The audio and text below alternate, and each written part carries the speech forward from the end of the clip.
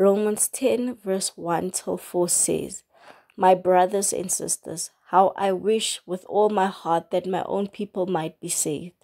How I pray to God for them. I can assure you that they are deeply devoted to God, but their devotion is not based on true knowledge. They have not known the way in which God puts people right with Himself.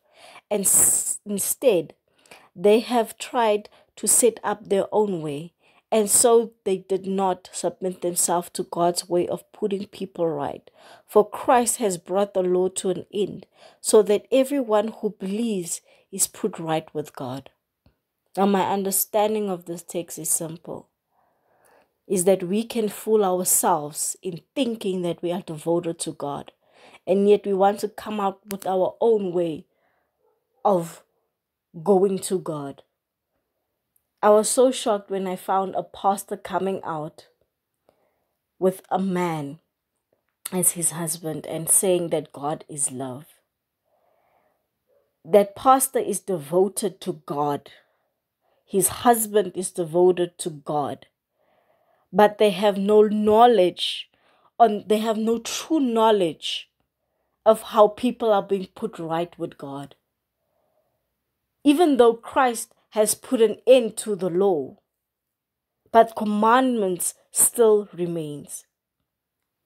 Jesus himself said, I did not come here to change commandments, but I am adding on one.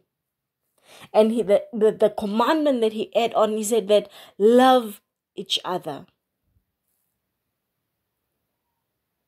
So what are you doing? What are you doing that is not of true knowledge? Because the scripture says that all who believes in Christ shall be put right with God. Through your faith you shall through your faith in Christ you shall be put right with God. So what is it that we as human beings are trying to prove by doing things our own way? God sacrificed his only son. He did not have to do that. Do people understand that God could have literally destroyed the entire earth with all human beings and started over? He did not need to send his son. He did not need to save us. He did not need to come down and cleanse us of our sins and save us from our sins. He did not need it. He, he, he did not need that. He didn't need to do that, but he did it because of his mercy and his love. So, what is it that we are holding on to? Stop holding on to false knowledge. We need to understand the true knowledge of how we're going to be put right with God and live according to it. We as Christians are falling off the bear. We are falling off. God sent Jesus Christ to save us, but we do not want to be saved. We are stubborn. Even I recently had to come to a conclusion that it doesn't matter how much of my Bible I can read, but if I do not make it into church, if I do not make it into the house of God, I will still be insufficient. There will always be something missing.